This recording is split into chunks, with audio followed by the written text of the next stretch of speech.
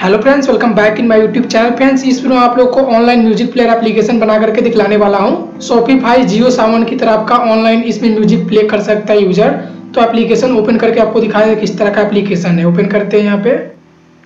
तो यूज़र जैसे एप्लीकेशन को ओपन करेगा, सबसे पहले वेलकम स्क्रीन आएगा, जहाँ से यूज़र लॉगिन कर सकता है गूगल प्लस से भी और यहाँ पे फेसबुक से भी और अपना ईमेल पासवर्ड डाल करके भी लॉगिन कर सकता है। या तो स्किप कर सकता है। मैं यहाँ पे स्किप पे क्लिक कर देता हूँ।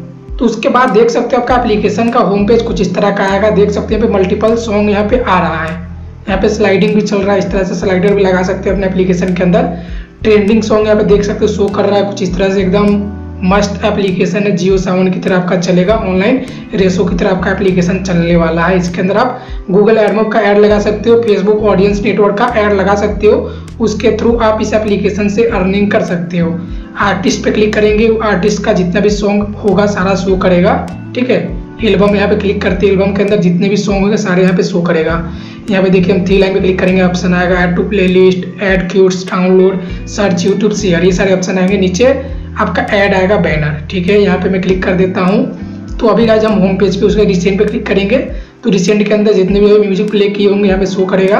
तो फिर उसका आपका म्यूज़िक का लाइब्रेरी आएगा कैटेगरी पे क्लिक करेंगे, यहाँ पे जितने भी अपने कैटेगरी बना रखे होंगे एडमिन पे सारा शो करेगा गाइज़ उसका लेटेस्ट पे क्लिक कर देंगे तो जितना भी सॉन्ग आपने नया वाला लेटेस्ट अपलोड किया होगा, सारा यहाँ पे सॉन्ग शो करेगा आपके एप्लीकेशन के अंदर. उसके बाद यहाँ पे हम थ्री लाइन पे क्लिक करेंगे, यहाँ पर बहुत सारे ऑप्शन मिल जाएगा home artist album all song playlist my list music library download favourite suggest song setting login तो सेटिंग पे क्लिक कर देते, इसके अंदर भी कुछ आपको ऑप्शन गाइज़ मिल जाएगा, जहाँ पे कुछ एप्लीकेशन का पेजेज है. यहाँ पे इसका आप थीम भी चेंज कर सकते हो day and night night mode का भी ऑप्शन मिलता है। तो यहाँ पे हम लाइट पे क्लिक करके आपको दिखा देते हैं। लाइट मोड में आपका एप्लीकेशन कुछ इस तरह का दिखेगा देख सकते हो।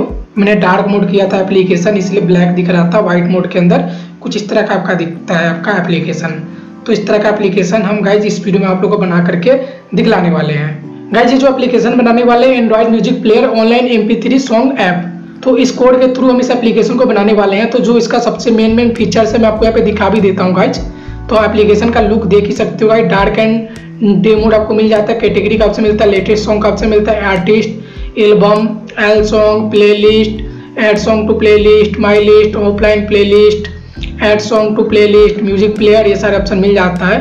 ये आपका जो एप्लीकेशन बनेगा एंड्रॉइड स्टूडियो के अंदर बनेगा, इसका एडमिन पर भी मिलता है। मटेरियल डिज़ाइन इसके अंदर नोटिफिकेशन भी भेज सकती है यूज़र के अंदर और फायरबेस का भी इसके अंदर ऑप्शन मिल जाता है गाइज़ और इसका कंप्लीट फीचर आप इस एप्लीकेशन का यहाँ पे आप गाइज़ देख सकते हो और एडमिन का फीचर आप यहाँ पे देख सकते हो गाइज़ तो गाइज़ इस एप्लीकेशन का कुछ इस तरह का आपको पावरफुल एडमिन पेल मिलता है, जहाँ से आप पूरा कंट्रोल करते हो आप अपनी इस एप्लीकेशन को। तो यहाँ पे देख सकते हो डेमो एडमिन पेल यहाँ पे मैंने लॉगिन कर रखा है, जहाँ पे डैशबोर्ड के अंदर सारे चीज़ दिखा रहा है कैटेगरी आर्टिस्ट एल्बम सब कुछ यहाँ पे दिखाया जाएगा। यहाँ से कैटेगरी क्रिएट कर सकते हो, सब कुछ ऑप्शन मिल जाते हैं, यहाँ पे बैनर वगैरह लगा सकते हो यूज़र देख सकते हो। और एड्स भी गाइज़ आप एडमिन पैनल से लगा सकते हैं सेटिंग पे क्लिक करके आपको दिखा भी देते हैं। तो देखिए यहाँ पे हम एड सेटिंग के अंदर जाएँगे तो यहाँ से आप एडमिन पैनल से भी आप जब भी चाहो, अपना एड्स यूनिट चेंज कर सकते हो। फेसबुक का लगाना चाहते हो फेसबुक का एडमोक का लगाना चाहते हो एडमोक का। उसी तरह से ऑप्शन सारे आपको।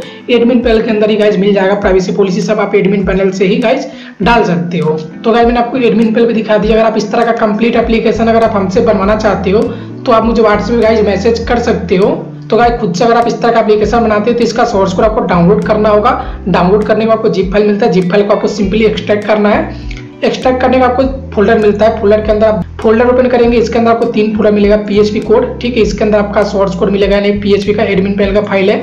उसका पीएचटी है। ओके इसको आप यूआई से चेंज कर सकते हैं इसके थ्रू उसका सोर्स कोड है, जो कि एप्लीकेशन का सोर्स कोड है ठीक है? तो सबसे पहले आपको पीएचपी कोड को सेटअप करना है एडमिन पैनल को सेटअप करना है। तो आपको इस पर क्लिक करना है फ़र्स्ट टाइम बायर कोड इसके अंदर जाएँगे पीएचपी वेब सर्विस ठीक है? ये जो आपका है, इसको आपको अपलोड करना है अपने सीपीएल के अंदर। तो ये आपका जिप फ़ाइल बना करके अपलोड करना है एड टू एड जिप यहाँ से जिप बना देना है जिप बना करके आपको अपलोड कर देना है अपने होस्टिंग के ऊपर सी पैनल के अंदर। तो किस तरह से अपलोड करते हो भी मैं आपको दिखा रहा हूँ। यहाँ पर अपलोड पे क्लिक करना है, अपने सी पैनल के अंदर जाना है। अपलोड पर क्लिक करके इसको ड्रैग एंड ड्रॉप कर देंगे, आपका अपलोड हो जाएगा। कुछ इस तरह से देख सकते हो। इस तरह से आपका अपलोड हो जाएगा। तो चलिए यहाँ पे हम अपलोड कर लेते हैं। तो गाइज़ यहाँ पे हमारा जिप फ़ाइल अपलोड हो चुका है। बैक पे क्लिक करेंगे देन इसको हम एक्सट्रैक्ट करेंगे राइट क्लिक करके। एक्सट्रैक्ट फ़ाइल करेंगे, उसके बाद अपना यहाँ पे जो हमारा फोल्डर है, इस पर क्लिक करेंगे सेलेक्ट करेंगे, उसका मूव कर देंगे इसके मेन डोमेन के अंदर, जो भी हमारा डायरेक्टरी होगा, उसके अंदर मूव कर देंगे देन ओपन लेवल पे क्लिक करेंगे, अपना डोमेन ब्राउज़र के अंदर ओपन करेंगे। तो चलिए ओपन करते हैं हम यहाँ पे ब्राउज़र के अंदर अपना डोमेन नेम उसके बाद आपको यहाँ पे क्लिक करना है Android online M P three install इस पर आपको क्लिक कर देना है और इसको इंस्टॉल कर लेना है सिंपली गाइस यहाँ पे सब कुछ यहाँ पे देख सकते हो ग्रीन है। और आपका पी वर्जन कम दिखा रहा है रेट बता रहा है तो उसको पी वर्जन आपको चेंज कर लेना है। उसका आपको नेक्स्ट पे क्लिक कर देना है। उसका यहाँ पे आपको वेरीफाई करना है इसका लाइसेंस ठीक है? तो यहाँ पे अपना यूज़र नेम और लाइसेंस आपको मिल जाएगा कोड बाई करने पे। ठीक है, वो सब आपको डाल देना है। उसका आपको यहाँ पे डाटाबेस का डिटेल्स डालना है। उसका आपका इंस्टॉल हो जाएगा, आपका ये एडमिन पैनल उसका आप लॉगिन आप कर सकते हो। तो इसका डिफ़ॉल्ट लॉगिन क्या है? मैं सब कुछ आपको दिखा देता हूँ। तो उसके लिए आपको डॉक्यूमेंटेशन ओपन करना होगा। डॉक्यूमेंटेशन इसके अंदर मिल जाता है। इंडेक्स पर क्लिक करके ओपन कर लेते हैं। तो हमारा बैकएंड का यहाँ पे डॉक्यूमेंटेशन ओपन हो गया। इंस्टॉलेशन प्रोसेस यहाँ पर भी बताया गया है। तो यहाँ पे जैसे बताया गया इंस्टॉल कर सकते हैं। यहाँ पे डिटेल्स डालना है। उसके बाद वेरीफाई हो जाएगा। उसके आपको डाटाबेस का डिटेल्स डालना है, जो कि आपको डाटाबेस यहाँ से बना सकते हो। मैं आपको बता दे रहा हूँ यहाँ पे। माई इसका डाटा यहाँ पे जा करके आप यहाँ से अपना डाटाबेस क्रिएट कर सकते हो, ठीक है?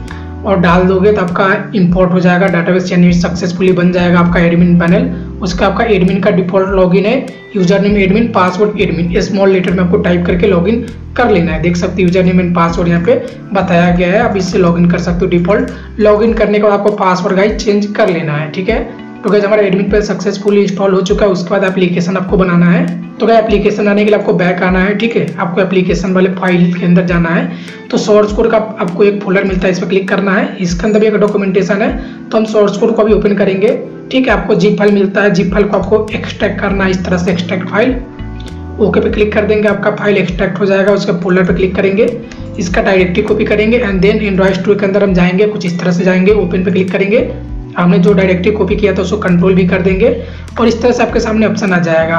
Online M latest version okay तो इस पर आपको क्लिक कर देना। ग्रीन वाले को सेलेक्ट करके ओके पे क्लिक कर देना। उसके आपका प्रोजेक्ट लोड हो जाएगा एंड्रॉइड स्टूडियो के अंदर। उसका, इसके अंदर क्या क्या चेंजेस करना मैं आपको बताता हूँ। तो चेंजेस आपको डॉक्यूमेंटेशन के अंदर भी बताएगा डॉक्यूमेंटेशन भी ओपन कर सकते हो यहाँ से। हम ओपन कर लेते हैं यहाँ पे।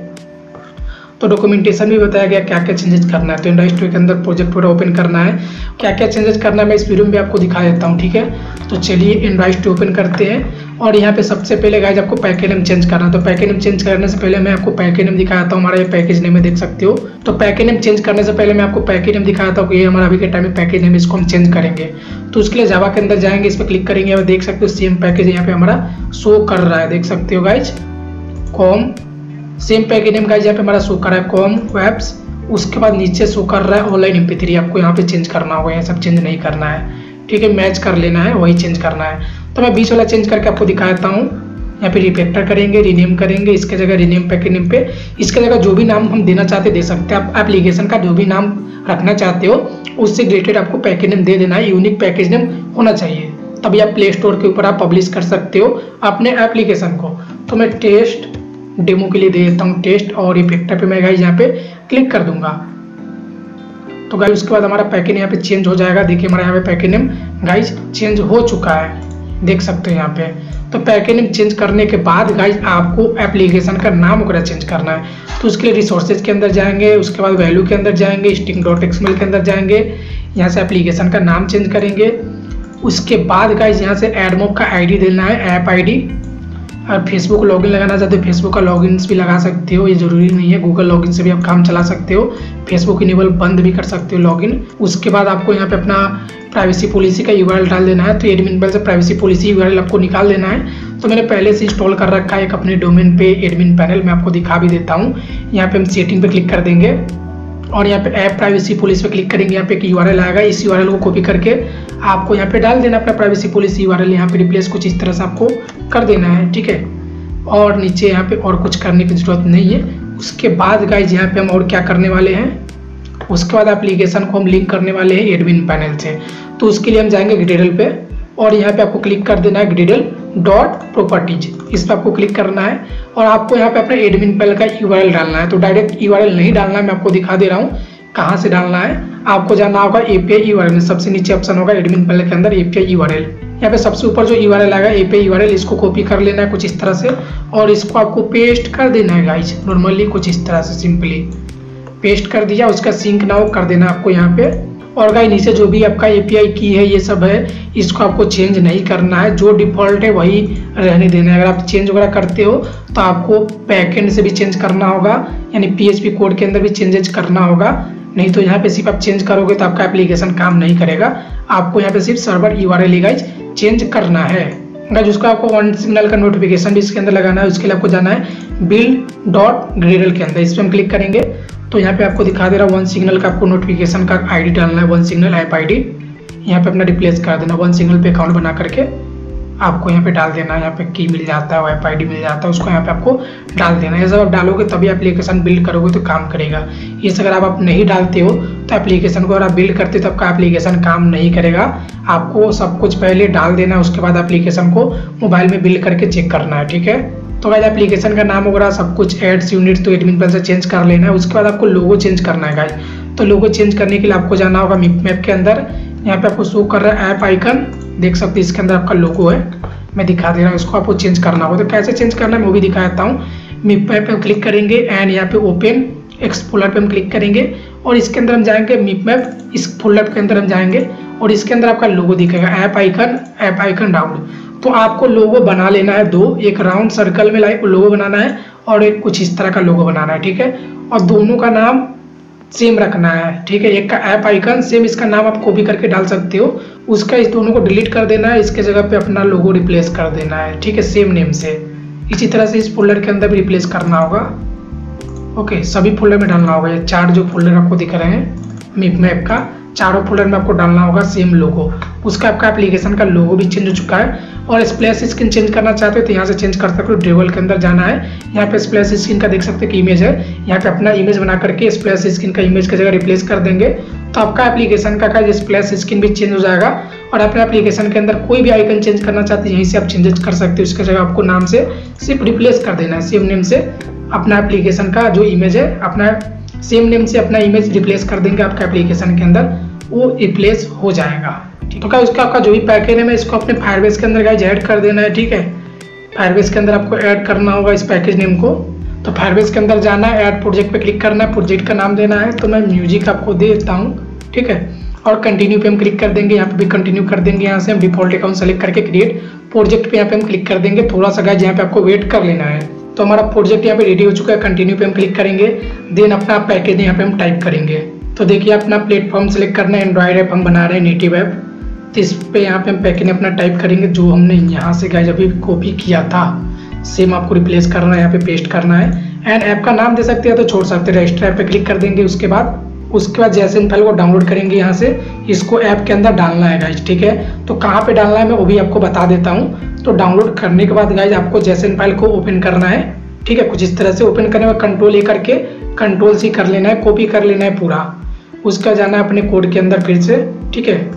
उसके एंड्रॉइड स्टोर के अंदर आपको जाना है। यहाँ पे एंड्रॉइड सेलेक्टेड प्रोजेक्ट सेलेक्ट करना है। और इस पर क्लिक करना है, उसका ऐप पे क्लिक करना है। गूगल सर्विस जैसन फ़ाइल का पहले से ही फ़ाइल है। इसको आपको कंट्रोल ए करके डिलीट कर देना है, ठीक है? अभी जो कॉपी किया था, उसको कंट्रोल भी कर देंगे पेस्ट कर देंगे मूव कर देंगे यहाँ पे।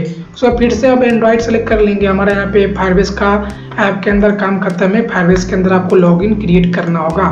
तो उसके लिए आपको ऑथेंटिकेशन पे क्लिक करना है, ठीक है? उसके लिए आपको यहाँ पे क्लिक कर देना है, उसका गेट स्टार्ट पे हम क्लिक कर देंगे। उसके बाद यहाँ पे ईमेल लॉगिन इनेबल कर देंगे। ओके इस तरह से उसका सेव कर देंगे। इसी तरह से आपको गूगल भी इनेबल कर लेना है गूगल लॉगिन और फेसबुक करना चाहते तो फेसबुक लॉगिन भी इनेबल कर सकते हो यहाँ पे। ठीक है तो यहाँ पे आपको ये सारे काम करने हैं फायरबेस के अंदर। तो गाइज़ जितने सारे आप काम करते हो तो गाइज़ आपका एप्लीकेशन ये म्यूज़िक एप्लीकेशन रेडी हो जाता है। इसको आप साइन एपिक में बिल्ड कर सकते हो एंड प्ले स्टोर के ऊपर आप चाहो तो पब्लिश कर सकते हो। और एड्स के थ्रू आप गाइज़ इससे अर्निंग कर सकते हो। अगर आप गाइज़ इस तरह का कंप्लीट एप्लीकेशन अगर आप हमसे बनवाना चाहते हो तो आप मुझे व्हाट्सएप पे मैसेज कर सकते हो। नंबर आपको हमारे डिस्क्रिप्शन में मिल जाएगा। आई होप का आपको वीडियो पसंद है। पसंद है आपको सब्सक्राइब कर सकते हो एंड इस वीडियो को लाइक कर सकते हो। Okay friend thank you so much and bye